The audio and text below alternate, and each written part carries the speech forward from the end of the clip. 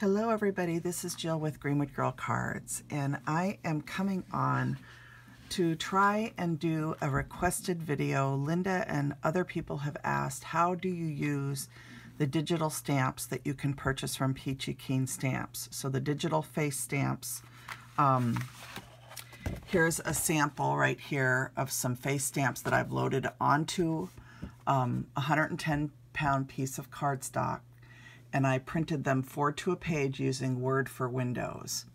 And I'm going to show you how I did that because there are people that don't know how to do it. So when you purchase the files, you're going to get a download. And I think everybody should know how to download. You click on the download button and uh, you're going to download the files to your computer. Then you have to save them to some place where you can go back and look at them. So I saved mine into a Peachy Keen digital files.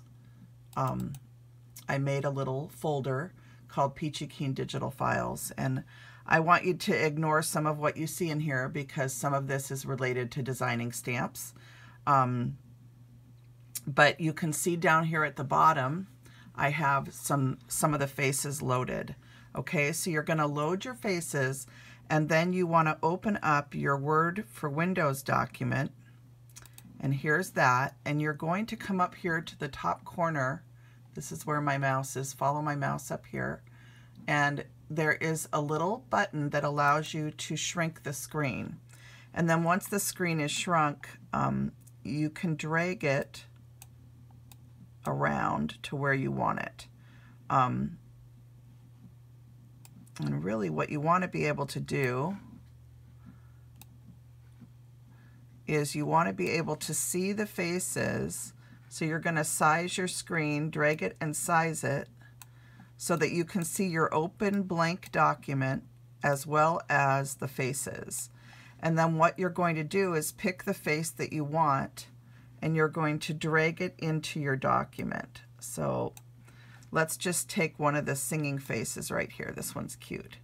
And you're just going to drag it over and it's going to go into your document, okay? And then once you have the face in your document, if you click on it, you can size the face. Now this can take some trial and error, but if you have a dot, the die that you want to use, for example, and let me just, let me really quick here. I'm going to show you the die that I'm using today. Um, sorry, I bumped the camera, you guys.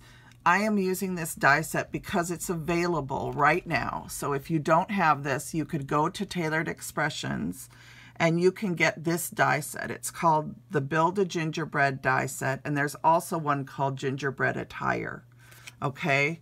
And it makes a gingerbread like this, and I wish I had a ruler right in front of me. This is about a four inch gingerbread, if I remember correctly. Okay, so here's the die that I cut that gingerbread with.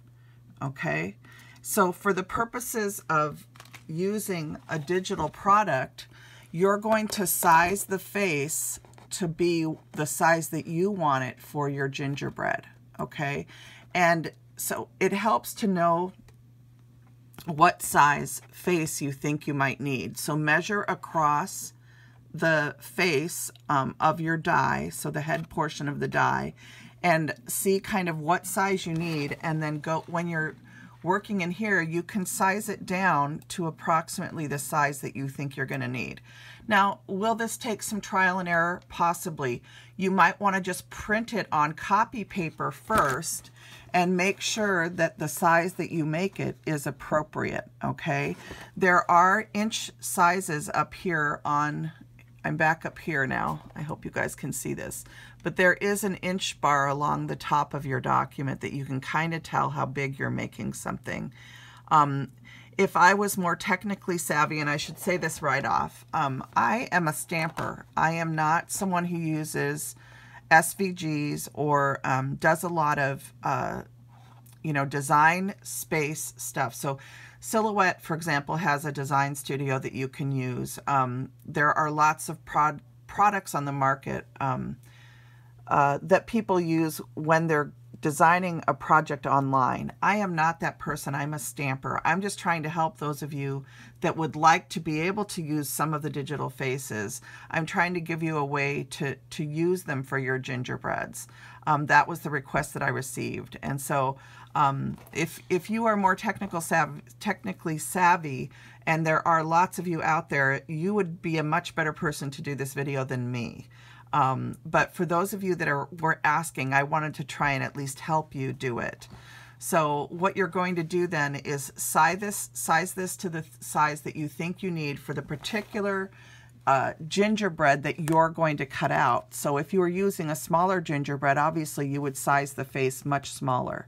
Okay, but just for the purposes of um, demonstrating, I'm showing you how I did it.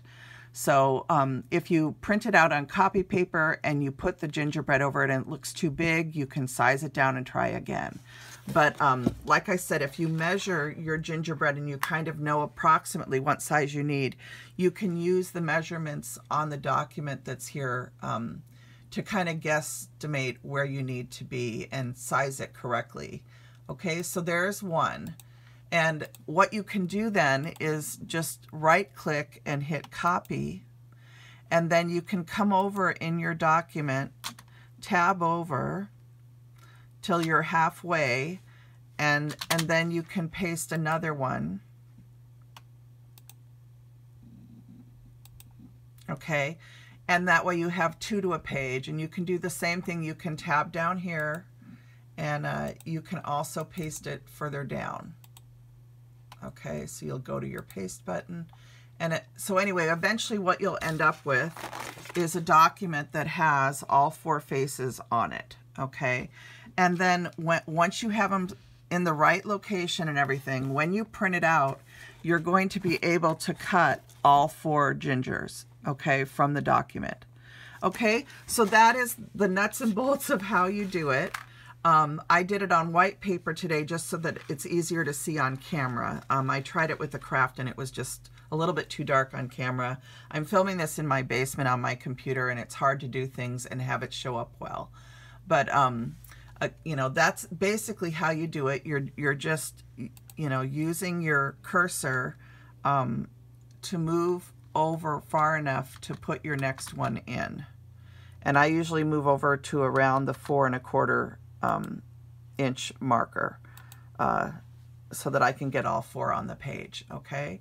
But again, trial and error, use copy paper the first couple times you print to make sure you have your um, faces in the right spot so that you can die cut with your die. So um, just print it out on copy paper first and make sure you have everything lined up right. Then what you're going to do at the end is you're going to save this document because anytime you want to cut gingerbreads out in the future, you can just go and print this document. You can print it onto craft cardstock, okay? And then once it's printed out, you cut it into four and then run the die, tape the die over the face in the right spot, okay? So you're gonna, you would actually cut this in four and tape this in place, run it in through your die cut machine, and if you've printed it on craft cardstock, um, I'll show you one that's finished, uh, it will come out like this. Okay, so you'll die cut it out of the paper and then you'll have it all ready to go so that you can decorate this. You can also ink this to make it more of a gingery color. You can then add your white um, uh, highlights to your eyes and do all your decorating of the gingerbread. So I hope that helps you guys. Um, again, the die set that I'm using today is a Taylored Expressions die, but whatever die you choose to use, you would just size it for that particular face that you need for that particular die cut. Okay, so I hope that helps you guys out. If you have questions, please leave them in the comments area of this video, and I will try and answer them. Um, just remember that I, I am not a hugely technical savvy person. Kathy and I from Peachy Keen were talking yesterday, and um, she did give me some video links on how to um, remove a face from an existing SVG in order to put a Peachy Keen face in, as well as some other videos. And if you go to her Facebook page, those videos are within her uh, Facebook page. But I'm going to put some links down below of some of the videos that she shared with me if I'm able to do that. And uh, but there's definitely if you search Peachy Keen stamps um, on YouTube, there are definitely people that have done a lot of videos using her faces. So you might be able to find a much better tutorial person than myself. so I just want to put that out there. But this is the nuts and bolts of how to do it very, very simply um, using the faces that you might, any face that you might want to purchase. And then um, it just gives you some options uh, if you don't have the stamps for whatever reason or the stamp that you want, you might be able to purchase it digitally and then print it onto the whatever project you're making, whether it's a little baby you're doing or a gingerbread or a snowman or whatever you're doing. Um, it allows you some options on how to do that with maybe a stamp that you don't have, um, that you were able to purchase digitally, but not um, the physical stamp set. So, all right, everybody, um, a big thank you to Kathy of Peachy Keen. Uh, for coming out of retirement, for putting uh, digital products up on her website for all of the people that do use uh, SVGs and uh, we're asking for them, and um, also for people that maybe just were, didn't have opportunities to get the physical product. But I wanted to remind you that the physical stamps are available on her website now, and we are doing a release on Saturday of some new products. So I will be putting a video up on Saturday to share um, some new releases that are coming, some Jill's favorites that she let me put together um, from some of her existing products and uh, she helped me do a whole bunch of things that um, uh, I'm excited about. So we will see you on Saturday for Saturday Morning Makes. I'll be sharing um, my Jill's favorite sets from Peachy Keen. I, again, I want to thank Kathy and Dave from Peachy Keen for coming out of retirement and helping us all enjoy their products again. And um, if, again, any questions about what I've just shown you, please feel free to ask me. Anyone that has way more experience could probably answer questions way better than I.